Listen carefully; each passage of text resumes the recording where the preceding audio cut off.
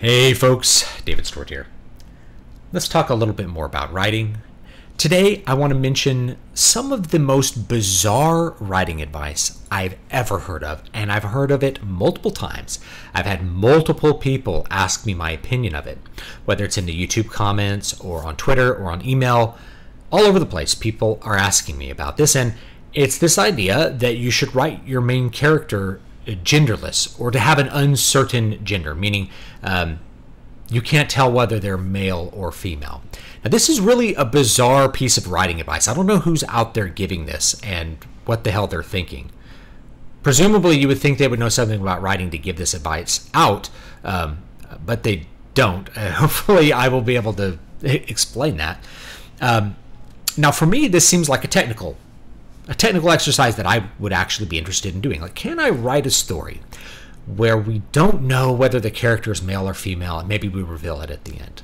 That'd be like a little challenge for a short story. Or are we writing a science fiction story in the future where there's no male or female, where the concept of different sexes doesn't exist? You know, people have done that before in the past. Or are we writing a piece of postmodern literature where we're removing all pronouns for the sake of some political idea or to just see what effect it has on the reader. Those are the things I think about when I'm like avoiding mentioning the sex of the, the main character. But uh, when I ask about why you on earth you would want to do this, um, something that no genre writer ever did, right? Uh, the answer was so that the reader can project onto the character whatever gender they want, whatever sex they want. So they the reader could imagine them as male or female. This is also really bizarre to me, and maybe it's indicative of like uh, a greater frequency of autism or something in the general population or in audiences that they're starting to assert weird preferences like this. Um, the truth is that male or female is such a deep part of who we are as human beings. Removing it from a character is going to make a character that by necessity ends up as a piece of gray goop with no specific traits. Um, it would be really an ill defined character because there's so much that flows out of being a man or a woman. Uh, what's possible for you to do physically and not possible for you to do physically. I can't have children, for instance. Um, what is possible for you in a culture, the way the culture uh, approaches each different sex, male or female, matters a lot, and therefore uh, it changes the way that people act. Men and women act different from each other. They do think different from each other on on average, and um, there's just a lot that goes into being male or female. It's something that's very deep about us. It's part of the the the lowest and most important part of our identity. Um, you know, God created the male or female. It's like one of the very first things in the Bible is the separation of the sexes. And in fact, not to get political, but one of the reasons that the whole gender ideology thing and trans thing is big is because that identity is really important. Being male or female really matters to people.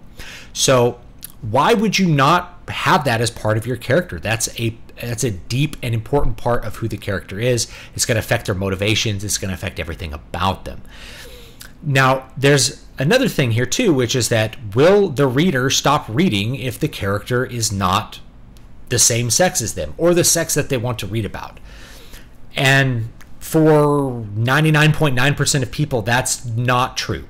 So, people who like to read, for instance, science fiction will not stop reading the science fiction book because the main character is male or female and they happen to be the opposite of that, or they, uh, you know, are preferring male protagonist or female protagonist or something like that. I don't know any reader who's ever closed a book because they didn't like whether the character was male or female. I, I guess I shouldn't say that. I've had people insinuate stuff like that in comments that they weren't going to read books that had female main characters. Well, you're not going to read some of my books. Sorry.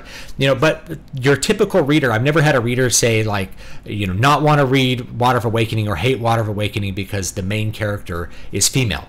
I don't know too many fantasy readers, and it's a pretty male heavy audience who don't uh, don't like the Mistborn series because the main character is female.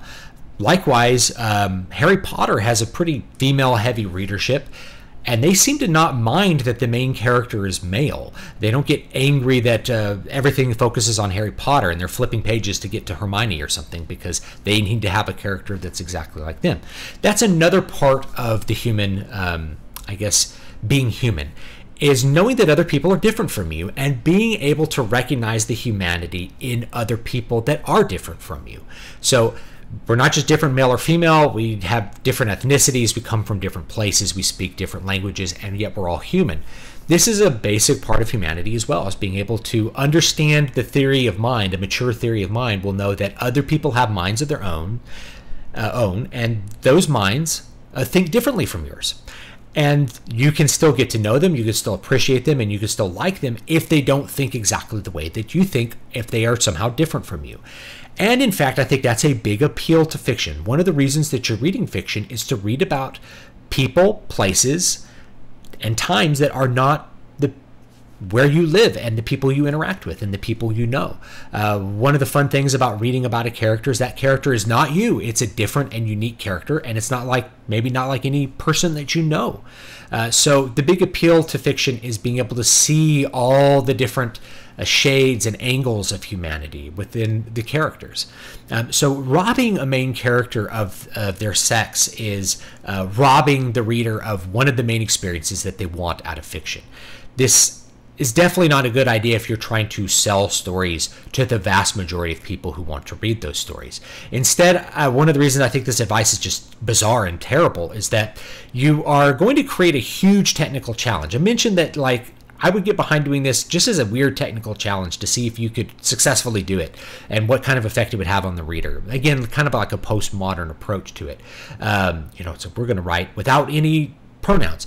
But if you actually did this within regular genre fiction, and you had a character that was they instead of she or or he, right? instead of using regular gendered pronouns. That's the only part of the English language that's gendered, by the way, are the pronouns, versus something like Latin where you have uh, genders for every word, um, or Spanish that has two genders for pretty much every word. Latin had three. Wow you know. And some languages have genders that are like rough and smooth have nothing to do with masculine and feminine by the way. So the word gender just as a reminder most of you know this already it's a linguistic term that has nothing to do with sex. Sex is really the more appropriate term. Um, but anyway if you're going to be using the plural they as a neuter um, as a neuter pronoun the entire book, it's going to get really annoying to any sufficiently experienced reader. Any reader who's read a, read a lot of books is going to be like, why do you keep calling this person they? Are they male or female? What is wrong with you? Hello, cat. Um, so I don't think it'll turn out well for most readers to have to do they, and it's going to create a big technical challenge for you maybe you're going to remove all gendered pronouns. No he or she at all, only they. Well, it's going to get real confusing when you have more than two characters in any scene or more than one character because every character will be they. Uh, I know this from writing, say, fight scenes with two men, is that they're both he and him. So using the pronouns within a single paragraph starts to become cumbersome he did this to him. Well, sometimes we have to use their proper name. So you're going to be seeing a lot of proper names to try to avoid confusion. Or you're just going to confuse the reader like which they is this they, which them is this them. It's a lot easier if you're able to just use regular pronouns and approach it from a regular technical manner to produce a genre fiction story. Like I said, if you're trying to make some kind of weird exercise, that's a different thing. But to me, that's not where their advice that advice is coming from. That advice is coming from a place of like, you should make this story for reasons, for the reasons that are related to the reader, for reasons of your success. No, it won't make you successful and it won't gain you new readers. Um, maybe there's, you know, this advice is indicative of some like increase in a strange mental outlook among people in our society, uh, like some, I don't know, some variant of something, like some kind of autism or something like that, where people need the character to be them. Uh, but that's not going to be the majority of readers even now. They're not going to need the character to be them. They don't need, you know, they're happy if they're fantasizing about a character, they're happy to fantasize about being that character, not needing that character to be them. Um, so projecting sex or projecting the self on a character, that's not something normal readers do, and that's a weird thing to do. Actually, um, that's not something that normal people that's not the way normal people interact with fiction at all. In fact what they like about fiction is that the characters are different and interesting and not like them. Not like oh he's so like me. No. It's like this guy's not like me. That's what makes him interesting. Conan is not like me. That's why i like him right? He's, he's a different kind of character you know uh, uh, all any character that I'm reading about is not like me. I wrote female characters. Obviously, they're not like the author. They're different characters from me, and probably different characters from you, the reader. So, Anyway, that's my advice on that advice. It's really bizarre and strange advice. I don't recommend you do it. Just write in the normal, the normal established style for your genre. Don't be doing extra crazy things unless it's part of some special way that you're constructing a special story, like imagining a science fiction story where nobody has sex, where there's no male or female anymore, like the female man or something. Um, if you're imagining a weird alien society where they have 20 different sexes, okay, go for it, right? Uh, but that's that's a, like a special case. This kind of advice trying to be applied to like isekai if you're going to write isekai fiction. No, your character should have a, a, sex associated with him or her, and that is going to be part of what informs what the character is possible, what, what's possible for the character, the way they view things, their attitudes. Male and female is a really important part of what of who and what the character is, just as important as their ethnicity or where they're from, what culture they come from, what their profession is. All of those things make the character the character. So you're just like cutting out a huge part of basic characterization in order to supposedly serve a tiny minority of people that probably don't care anyway and would probably read your story regardless of whether the main character was male or female if it was well written. So keep that in mind, and I'll see you all next time. Have a great, great day. Peace out.